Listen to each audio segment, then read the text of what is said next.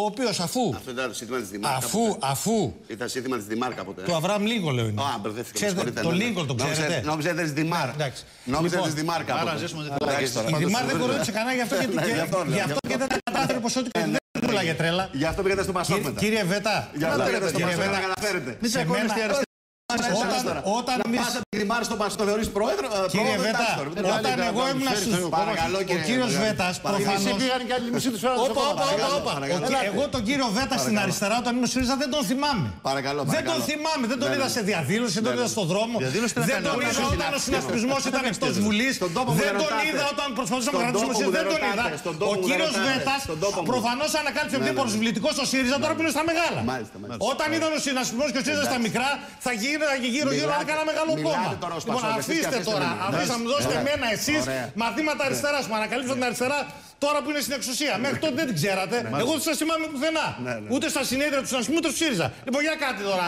Ε, η ησυχία και Ελάτε, μην μου κύριε Μαργαρίτη. Ελάτε, κύριε Μαργαρίτη, μην Σε είναι μένα ηρωνία εσείς κύριε Βέτα, όχι. Δεν έχω ηρωνία, κύριε Από Μαργαρίτη, δεν στο έχω ΣΥΝ ηρωνία. και στο ΣΥΡΙΖΑ ήσασταν. Δεν Τον έχω ηρωνία. ανακαλύψατε στα μεγάλα. Η πρόοδος- Και φυσικά. η πρόοδος κύριε από τη Βέτα, Δημάρ στο Πασόκ κύριε δεν Βέτα, υπάρχει. Και όταν Είστε στο γυρίσει. Πασόκ. Και όταν γυρίσει. ο Αυτό Συ- τα λέει όλα, Τώρα κύριε αφήστε Μαργαρίτη. τώρα σε μένα. Αυτό τα λέει όλα. Και Αφήστε- αύριο μπορεί να είστε όταν- κι αλλού, άμα Όταν χρειαστεί. γυρίσει ο Και αλλού συνασπισμό μπορεί και ο να ΣΥΡΙΖΑ είστε. στα μικρά Και μπορεί ποσοστά να θα τον είστε. ξαναξεχάσετε. Δεν θα γυρίσουμε, αγαπητέ. Αλλά Να εν είστε πάση σίγουρος. περιπτώσει, Ελάτε, εδώ κύριε Μαργαρίτη. λυπάμαι Κύριε πάρα Μαργαρίτη, πολύ. αφήστε τα ποσοστά τώρα. Όχι, Τσακώνεστε μισό λεπτό. αριστεροί, Εδώ ήταν παιδιά. πολύ Διακόπτω προσβλητικό τη πριν δεξί μεταξύ ξεκινήσω να σας. μιλάω. Εσείς είναι οι Πριν υπόλοιποι. ξεκινήσω. Ένας απόν από τους αγώνες αριστεράς εγκάλισε εμένα. Εντάξει. Ε, Ωραία, έλα. ελάτε. Λοιπόν, ε, θέλω λοιπόν να πω το εξής.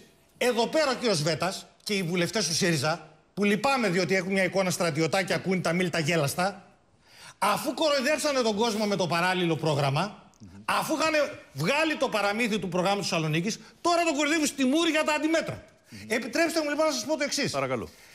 Ό,τι έχουν πει για τα αντιμέτρα, τα οποία δεν έχουν απολύτως αποσαφινιστεί, όπως ξέρουμε το κόρπους των μέτρων, Ναι, ναι. θα είναι υπό την προαίρεση της εφαρμογής Των στόχων. των στόχων Χειροπολί. και του πιασίματος των πλεονασμάτων. ξέρουμε αυτό. Γιατί για Άρα να τι είμαστε- έχουμε. Μισό λεπτό. Θα βάλουμε το χέρι στην τσέπη κανονικότατα τώρα και αν δεν πιαστούν τα πλεονάσματα θα έρθει και ο κόφτης και στους δημοσίους υπαλλήλους θα εφαρμοστούν και όλα. Και προσέξτε ποιο είναι το δράμα. Εδώ πέρα κορυδέψανε τον κόσμο στεγνά. Διότι στους μεν ελεύθερους επαγγελματίες φέρανε αυτή τη στιγμή άμεσα το 19 την ιστορία με τις ασφαλιστικές Τις φορές. ασφαλιστικές. Έστολους. Προσέξτε.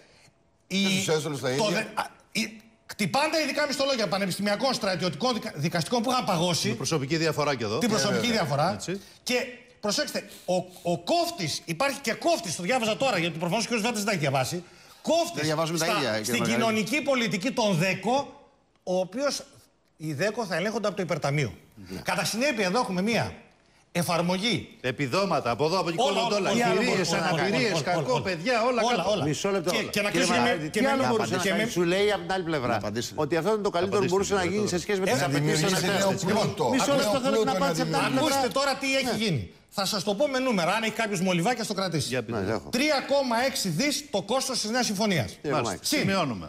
5 δις οφειλές στο δημόσιο. Σιγάρα, Συν 3,6. 3,5 δις άξιο κόκκινων δανείων. 3,5. 4 δις διαφυγή καταθέσεων. Τέσσερα. Συν 3 δις από την καθυστέρηση του κλεισίματος. Ναι. 19,1 δις καπέλο πληρώνει η ελληνική κοινωνία. Έλα να κάνει 20 τώρα κύριε Μαργαρίτη. Λοιπόν, Τώρα 19,1. Βάλτε τα 20. 18,6. Βάλτε- 18,6. 18,6. Εγώ Είμαστε σας- ακριβείς. σας λέω, Γιατί 3,6 κράτα δις μολύβι. το κόστος της νέας 18,6. συμφωνίας. 5 δις οφειλές στο δημόσιο, 3,5 δις άκουση κόκκινων δανείων, 4 δις διαφυγή καταθέσεων, 3 δις από καθυστέρηση του 18,6 κλεισίματος. λογαριασμό. Εγώ έχω μια απορία να ρωτήσω.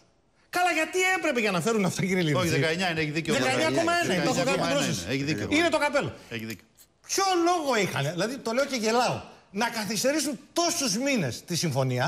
Ναι. Τόσους μήνες, δηλαδή τρία δις έχουν μετρήσει την καθυστέρηση. Ποιος ήταν ο λόγος να την καθυστερήσουν και να μην την υπογράψουν πριν μερικούς μήνες; Ειλικρινά, τι καλύτερο, τι χειρότερο θα φέρνανε; Μάλιστα. Και προσέξτε εδώ και μια λεπτομέρεια να σας πω και με Δηλαδή, αυτό πρέπει να ολοκληρώνω. κλείσει ο κύριος Ελάτε για να Το μιλήσει ο ταμείο, Βέτας. το Ναι. ταμείο κάνει μια εκτίμηση, καλός ή κακός, και λέει το 18 θα έχουμε πλεόνασμα 2,2 και το 21 δε- 1,5%. Που σημαίνει ότι στην αρχιτεκτονική της ανάλυσης του Δεν βγαίνει. ναι. δεν βγαίνει. Δεν βγαίνει το 3,5. Η ερώτησή μου είναι η εξής.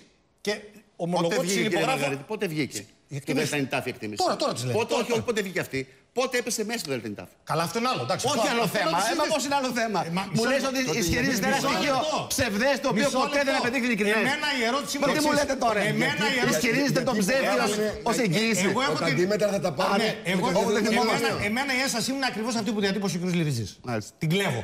Ναι. Βάλατε πέντε χρόνια αυτό που αποκαλούσατε ματωμένο πλεόνασμα. Το ξαναλέω, να σας θυμίσω τη λέξη. Ματωμένο πλεόνασμα. Το βάζετε πέντε χρόνια στον ελληνικό λαό μέχρι το Αλλά έχει 22. ουδέτερο αποτέλεσμα σου λέει. Ορίστε. Ένα μπαίνει, ένα βγαίνει. Μα μισό Έτσι λεπτό. μας Το είπαν. Διεθνές Ουδέτερο Νομισματικό Ταμείο δημοσιονομικό συμφωνεί. Όχι, δεν είναι, δεν είναι, είναι, δεν είναι, είναι, παίζει λάθος. δεν είναι έτσι. είναι, Δεν είναι όχι. έτσι. Ω, Τρισήμιση είναι ματωμένο πλεόνασμα για πέντε χρόνια. Και λέω ματωμένο γιατί είναι τόσο μεγάλο το πρόβλημα της πολιτικής ψευδολογίας του ΣΥΡΙΖΑ Μάλιστα. που αυτό που α- αποκαλούσε ματωμένο ε, πλεόνασμα σήμερα γίνεται μία. Ένα καθεστώς, μια κανονικότητα που επιβεβαιώνει τι, και με αυτό έβαλα την τελεία μου.